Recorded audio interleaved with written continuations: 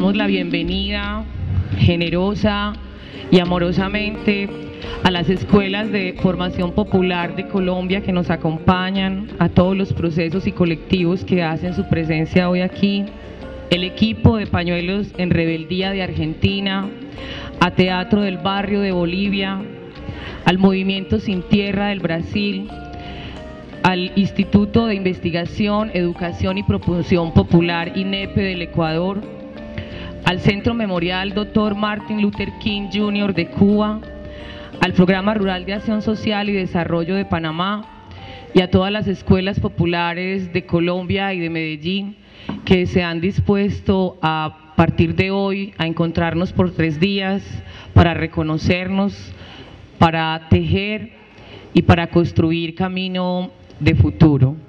Enseñar hace parte del proceso más grande de conocer. ¿Cuál es el acumulado de la educación popular que le da identidad?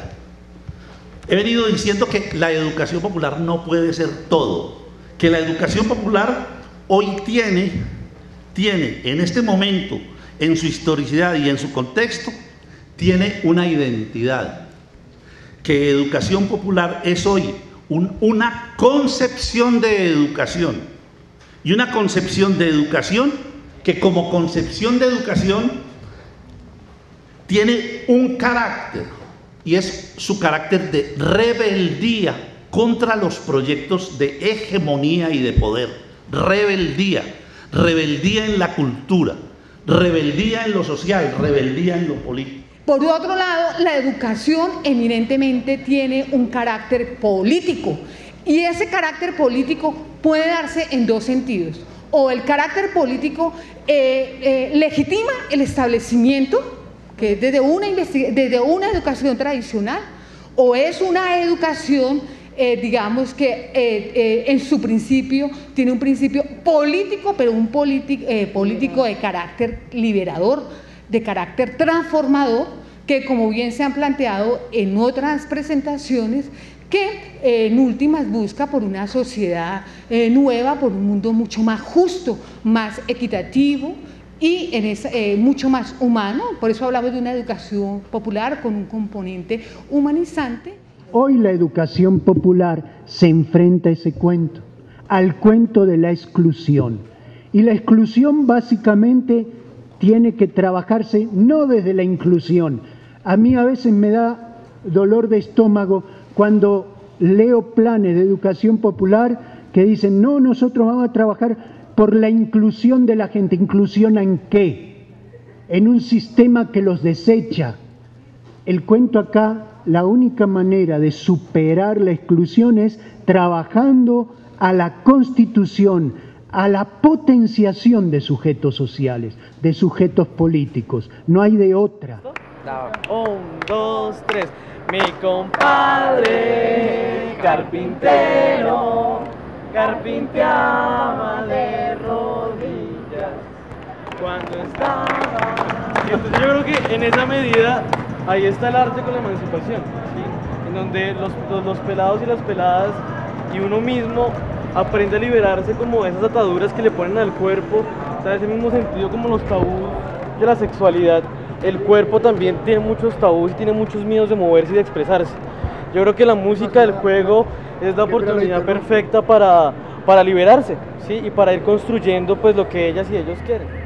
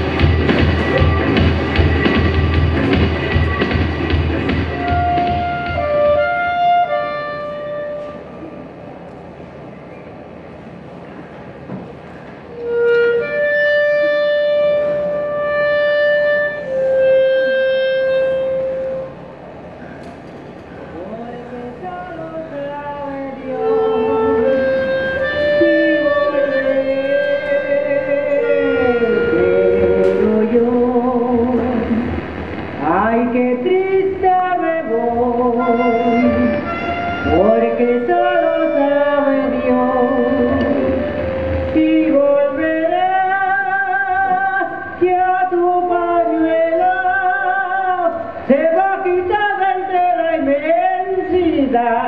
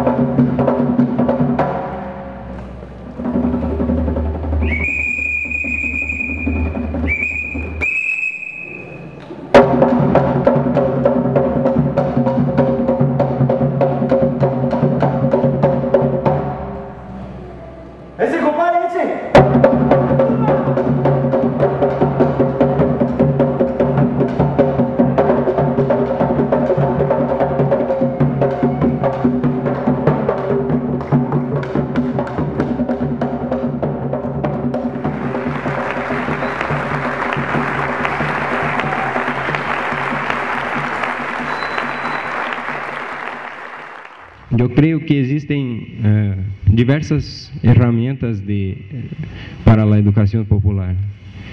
Una de, de, las más importantes que surge con, junto com a pedagogia do oprimido é o teatro do oprimido, que é um pouco do que vimos aqui, que são as intervenções culturais com a população, para uh, que a partir delas se haga uma reflexão.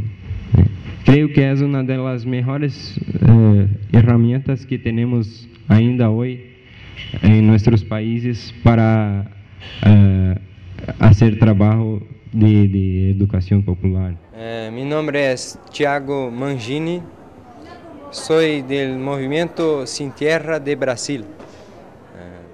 E sabemos todos nós que isso não é uma tarefa simples e que está ligada com a luta dos povos. O movimento completou, ha hecho cumpleaños em 2009, uh, como 25 anos ha completado, uh, e seu início se dá em década de eh, final da década de 70 em Brasil.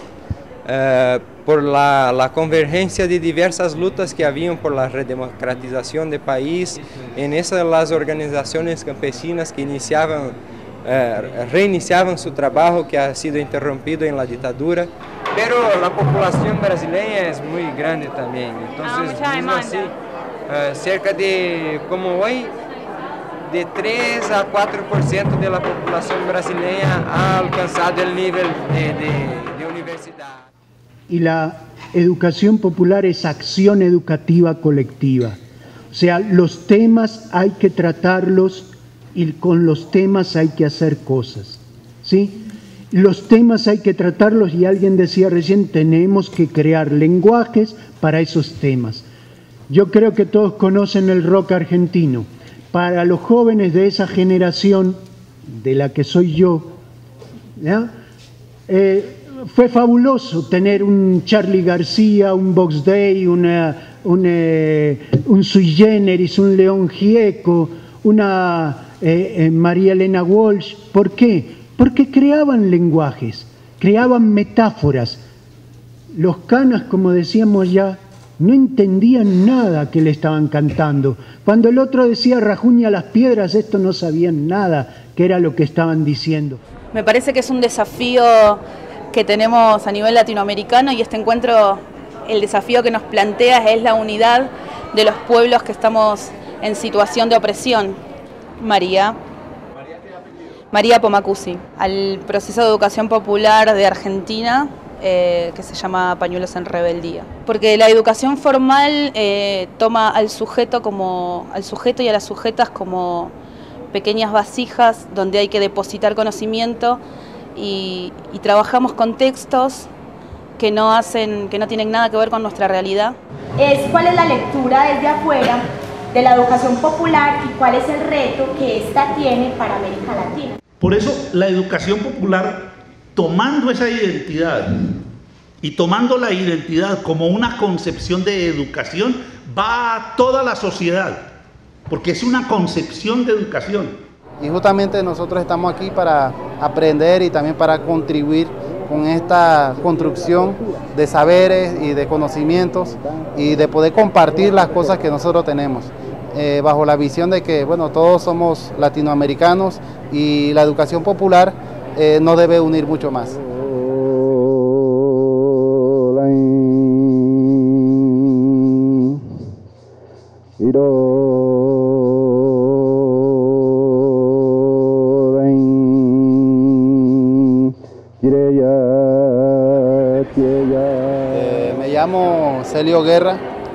Pertenezco a la Asociación Programa Rural de Acción Social y Desarrollo, PRASDE, Panamá.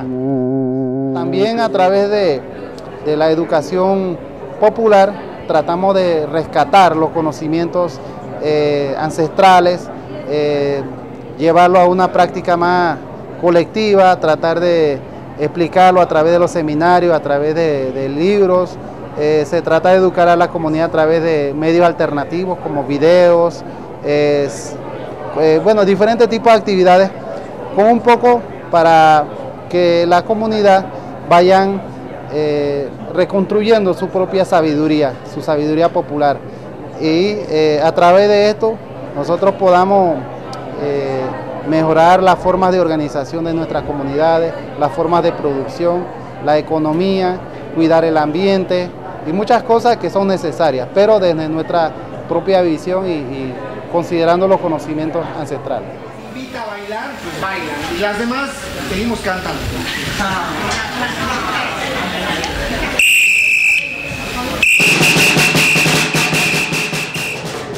Yo soy José Luis, José Luis Lora Rocha, vengo de Bolivia y soy coordinador de la red del Teatro del Oprimido Bolivia. Que mujeres nos bailen la peluca. Bueno, el, Teatro del Oprimido es, una, es un sistema de juegos, de ejercicios que, están orientados eh, a la búsqueda, a la identificación de situaciones de opresión, ¿no? Y a encontrar alternativas eh, para liberarse de las, de las opresiones. Es decir, es, es un teatro, el teatro del oprimido es un primo hermano de la, de la pedagogía del oprimido de Pablo Freire, quien plantea que la educación tiene que estar al servicio ¿no? de procesos de liberación. El punto de partida de la educación está en el contexto cultural, ideológico, político, social de los educandos. Não importa que esteja este contexto echado a perder. Uma das tarefas do educador é rehacer isto. E nesse sentido é que o educador é também um artista. Ele re, rehace o mundo. Ele, ele rediburra o mundo. Repinta o mundo. Recanta o mundo. Redança o mundo. Eh, bueno, yo pensando un poco también como desde la mesa de arte, que pensaba una propuesta y creo que puede ser acogida también, es que sigamos promoviendo eh, pues el arte también desde esa creación que nos comentó ahorita el profesor de que eh, en nuestras experiencias educativas empecemos a, fomentar un poco más ese arte hacia la sociedad. y en ese sentido yo estaba pensando mucho en el Teatro del Oprimido, que en Colombia no tenemos eh, todavía muy así eh, establecido o, que esté el teatro del oprimido, como que nosotros los artistas que estamos acá y también los que estamos aquí como educadores, empecemos también a mirar esa, esa herramienta o esa eh, que es el teatro del oprimido, como que empecemos a implementarlo también en nuestras construcciones, en nuestras organizaciones. bueno, el, el, teatro del oprimido tiene, es un sistema, ¿no? un sistema de juegos y ejercicios que están orientados a la indagación, a la exploración de situaciones de opresión en la perspectiva de encontrar alternativas de solución. ¿no? Entonces, si, entendemos la opresión como, como la imposición de valores, ¿no? de un grupo a otro grupo, ¿no? de una persona a otra persona, de un grupo a otro grupo, de un país, etc., eh, vemos que hay una imposición, ¿no es cierto? Se imponen valores. E, esto se da de dos maneras. Se puede dar por la violencia, ¿no? mediante la violencia, o se puede dar mediante la seducción. ¿no? Eh, mediante la violencia es, eh, es, la represión y mediante la seducción es, por ejemplo, cuando a través de los medios nos están imponiendo ciertos valores. ¿no? Nadie nos pega, nadie nos nos golpea, pero nos muestran que si tomas cerveza vas a tener una chica linda, ¿no? O que si usas Axe, te van a perseguir miles de mujeres. Digamos, para los que trabajamos en las universidades, eh, un poco, y si hay facultades de comunicación, por ejemplo, para los que trabajamos con facultades de comunicación, un reto de cómo, digamos, estos nuevos comunicadores, para que no le coman cuento a RCN y a los medios y pierdan el sueño de trabajar eh, en el espectáculo de los medios, se apropian de estas nuevas tecnologías en pro del fortalecimiento del movimiento popular. Entonces sería muy interesante que la gente contara qué espere, cómo se, se, está pensando lo comunicativo, ¿cierto? ¿Qué estrategias ha utilizado en su experiencia, ¿cierto? ¿Y para qué fines? Creo que es por ahí. Entonces, por eso les decía al principio, uno se comunica de acuerdo al espacio donde esté.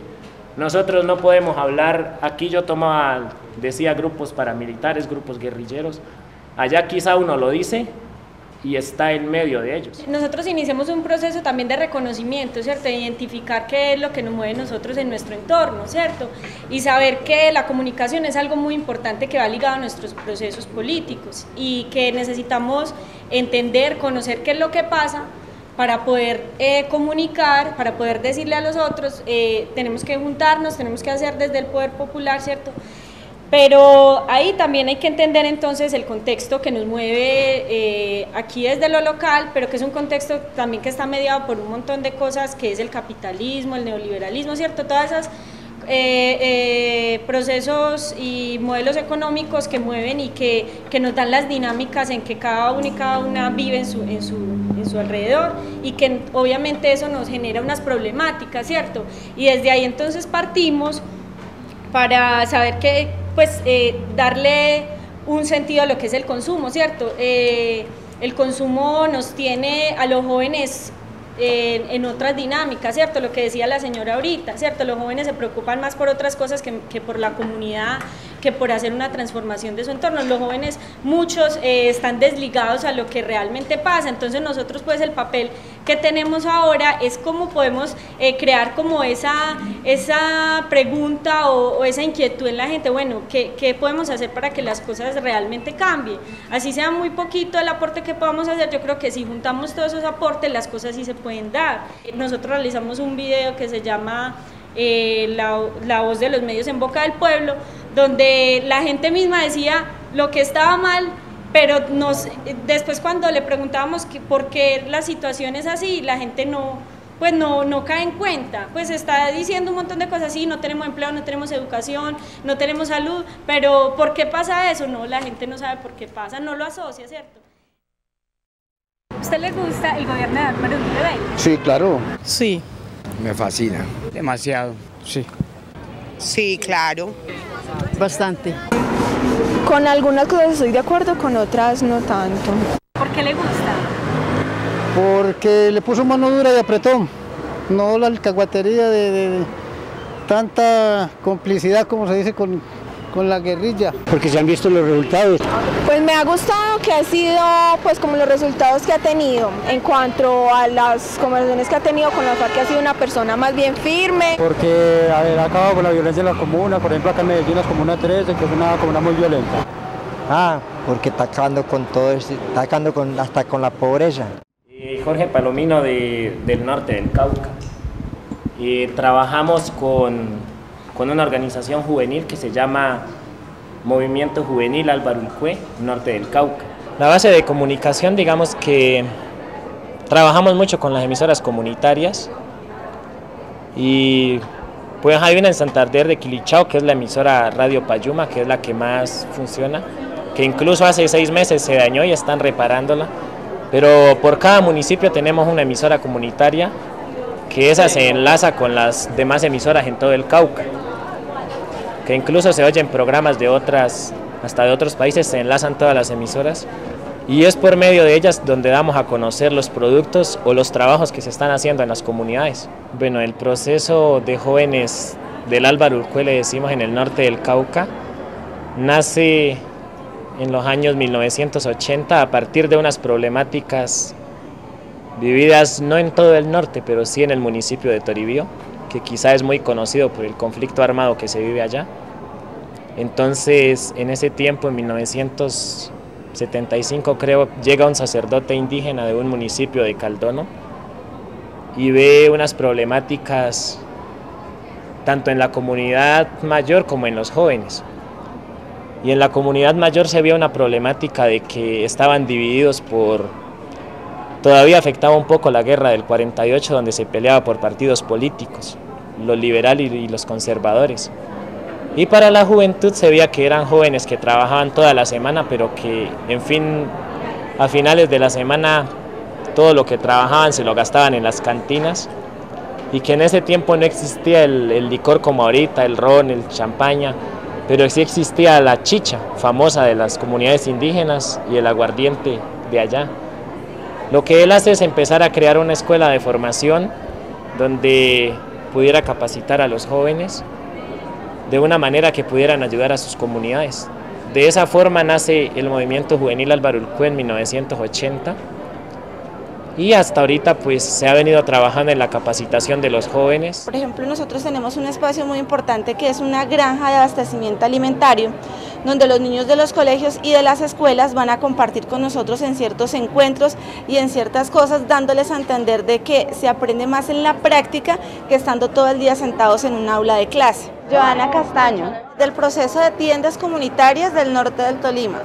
Bueno, eh, actualmente pues estamos viviendo una crisis muy fuerte en el norte del Tolima y pues yo creo que es una crisis que a nivel nacional en el sector campesino está muy acentuada en este momento. Cogí mi vara y anzuelo y me fui a pescar un charco, creyendo que estaba solo, estaban pescando cuatro. Lo principal de esa escuela interétnica es que las cosas son horizontales. Por eso me bajé acá, porque yo no soy más que ustedes, ni menos que ustedes. Y, a partir, y cada uno a partir de su objetividad interpreta si es crítico o no y se lleva como la reflexión a su casa.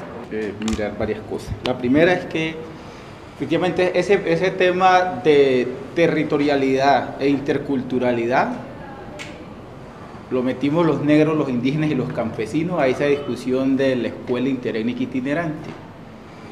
Porque parte del arraigo que hay y desde donde uno se para sobre el territorio. Es interesante que se haya metido ese tema ahora acá a, este, a, a esta discusión latinoamericana. Está un tanto claro para apropiación del territorio en lo rural. ¿sí?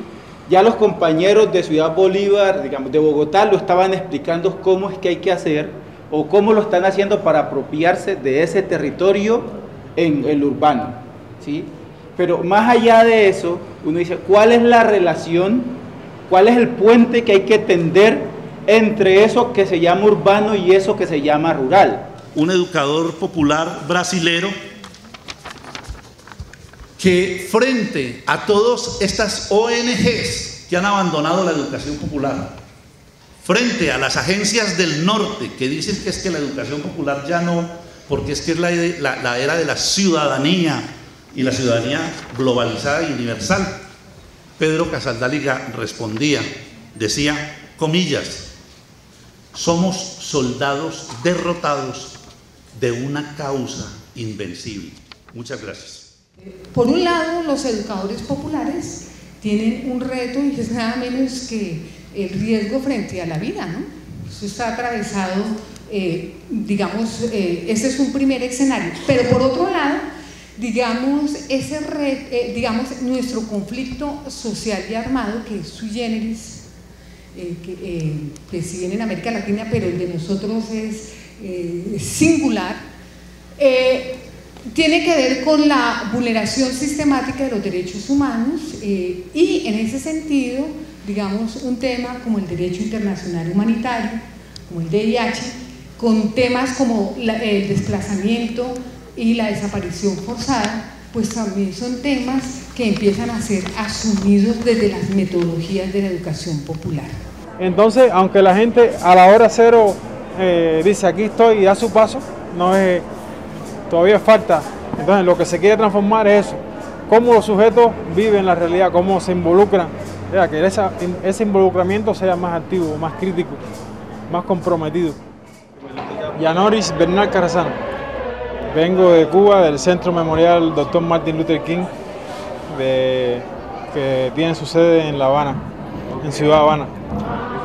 Es un proceso de no violencia, de hecho el, el nombre es un homenaje al, a quien fuera un exponente de, de, la no violencia, que fue Martin Luther King. No, la, la, en Cuba subyace todavía el modelo de, educación tradicional en muchos, en muchos lugares. O sea, para nada eso está solucionado. Y no se pueden negar las, las conquistas de la educación. O sea, ese sector ha avanzado considerablemente y Cuba está considerado como un país eh, privilegiado en, la educación. Pero eh, no, no estamos satisfechos con el sistema, o sea, todavía con las, las formas y las maneras que todavía eh, tienen que ver con un modo de educación tradicional, o sea, donde eh, hay, hay una división muy grande entre el educando y el educador, o sea, ese educador que va con su saber y que reprime de cierto modo al educando porque lo abruma con su conocimiento, o sea, él es el que sabe y, va a enseñar, el otro no sabe. Entonces, que lo que se, lo que se quiere transformar no es el orden eh, existente, o sea, no se quiere transitar hacia el capitalismo, estamos convencidos que la opción es el socialismo y estamos apostando por ella, ¿no? Y entonces, pero sí se quiere transformar y, e involucrar más a las personas activa, más activamente en el proceso social que se está construyendo es una especialidad que solo nuestra gente tiene. A mucho honor. Gente inteligente, gente bien preparada técnicamente para su ritmo de vida, que inventaron, por ejemplo, el concepto de sentipensante. Ese sentipensante que aparece en mis libros eso no lo inventé yo. Eso fue allí en, una de las ciénagas, cerquita de San Benito Abad, cerca de Jegua, por allí, por esos sitios. Que a alguno se le ocurrió algún eh, pescador que iba conmigo. Dijo, mire, nosotros sí en realidad creemos que actuamos con el corazón, pero también empleamos la cabeza. Y cuando combinamos las dos cosas, así somos sentipensantes. Un concepto tan sencillo, ¿cierto? Se entiende, es muy bonito, tan bonito que, el, que me lo robó Eduardo Galeano. La idea de construir un centro de pensamiento alternativo, donde recoge distintas tendencias políticas y revolucionarias, eh, donde busca incidir eh, política y pedagógicamente en el quehacer regional e internacional, frente a una apuesta y un legado que deja el maestro Orlando Falborda antes de su muerte, con todos los debates que pudiéramos tener con, con el maestro. Desde una pedagogía de la educación popular, desde una pedagogía mucho más reflexiva, mucho más crítica, que permite eh, avanzar hacia la construcción de ese sujeto político y manejamos la idea de que el conocimiento no solamente está en la escuela, no está en eh, las aulas de clase, sino que ese conocimiento también se puede dar por fuera y es el conocimiento de los mayores, el conocimiento de los ancianos, el conocimiento del agrosembrador y el conocimiento del sembrador intercultural, que es la otra figura que nosotros manejamos en este trabajo de la réplica y de poder consolidando la organización social. Levo de acá para el Brasil una gran esperanza, una gran uh, uh, voluntad así de percibir que acá en Colombia, como en otros países que, que hemos vi, vivenciado en esos días, ese intercambio, de que es posible el, el, cambio de la sociedad hoy, es posible luchar, enfrentar y quizá derrotar el capital y construir otras alternativas ante a eso. Y una de las bases de esa transformación ciertamente es la educación popular, porque ella que sembra la semilla de la deuda en la cabeza de las personas, del cuestionamiento, de ellas no se conformaren con su situación y se revoltaren y por tanto sentir necesidad de junto con, con otras personas se organizaren para, para mejor, mejorar su vida. Entonces, eso es un, gran enseñamiento que levo de acá, que hemos traído un poquito también de nuestra pequeña experiencia para compartir aquí con, con todos nosotros.